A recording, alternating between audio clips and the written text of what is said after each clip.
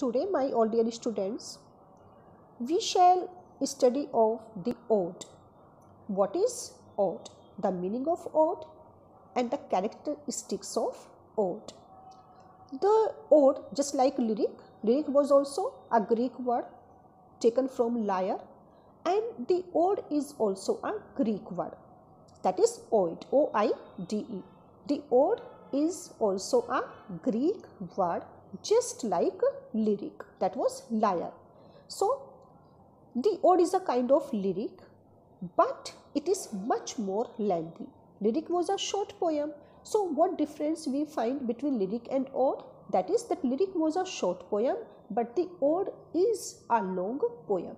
It is much more lengthy. It is also a kind of lyric but it is much more lengthy in comparison of a lyric. Much more lengthy and elaborate. It is always the ode. The ode is always in the form of an address. Okay, don't forget that the ode is always in the form of an address means the poet addresses something or someone. When uh, an ode writer is writing, is composing a poem, then he always addresses something or someone.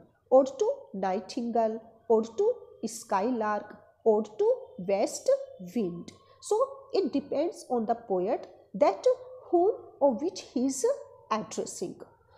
The ode is very serious. The, the ode is very serious and it is always dignified in both in language and in thought because it is serious so it is dignified in language and in thought. Thought are also very serious and because thought the theme is serious the content is serious so the language should be like that.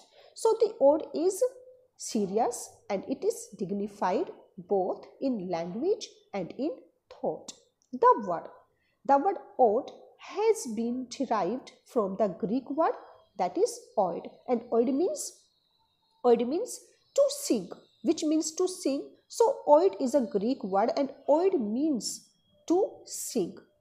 It was used by the greeks for any song sung with the lyre ode was also sung with the help of this greek musical instrument lyre and the ode was used by the greeks for any song. Okay they used to sing any song sung with the lyre. What is lyre? Lyre is a musical instrument and this instrument is always used in Greece country. The ode is a grand poem. Of course, it is a grand poem because it is dignified in language and in thought. So, it is a very, very grand poem and it is written on the occasion of public functions which is used for ceremonial occasions ceremonial occasions that when there was a time of public function or any occasion used to be celebrated then this poem was sung. And and because there was a time of any function of any occasion of any ceremony so it was very grand poem. Like what kind of ceremonial occasions? Maybe like funeral birthday, state events and the private occasions. In short, the ode was basically a formal, maybe both formal, public or social poem and it celebrating something. It used to celebrate this or that, maybe formal, maybe public, maybe social poem and celebrate this or that that is celebrating something. So this was the ode. Now let us discuss all the main qualities, all the main characteristics of ode. What are the main characteristics of ode? One by one we shall discuss. Because uh, the ode is much more lengthy and elaborate in comparison of a lyric. So the very first quality of an ode is that it is longer. It is longer than a lyric. An ode is longer than a lyric. Second one that an ode is often in the form of an address. The ode is often addressed directly to the living being or any object. It is second characteristic of an ode is that it is always in the form of an address. Third one, that there is too much emotional intensity, there is enthusiasm, there is a zeal. It has lyric enthusiasm and emotional intensity. We find in an ode.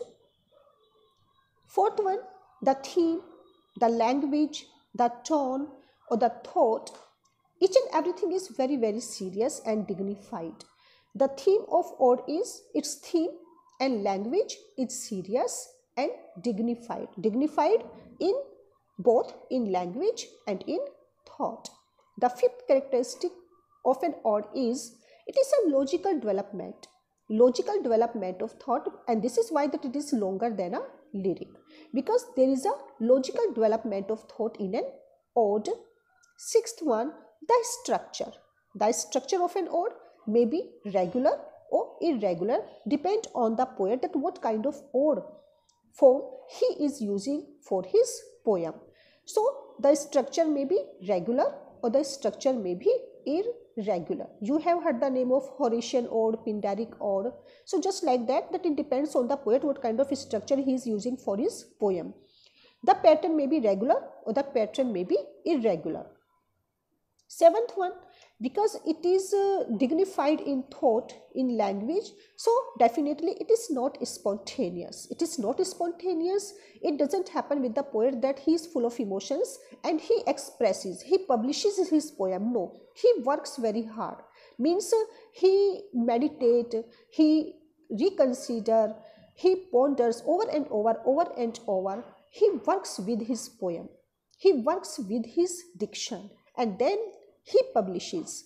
So an ode in comparison of a lyric, a lyric is spontaneous but an ode is not spontaneous but it is the result, result of the hard work, of the hard labor of the poet. So you can say that lyric was unpreplanned, lyric was unpremeditated but an ode can be called it is always pre-planned and pre-meditated dictated means it is not spontaneous. Next one, a lyric is always subjective but an ode may be both because uh, it is dignified, it is serious and uh, it was basically sung in public. It may be a social poem also, it can celebrate any kind of event. So it depends on the poet that uh, he, he is using his own feelings or other feelings. What kind of theme he is using for his poem. So an ode may be both, may be subjective or may be objective, may be personal or may be impersonal.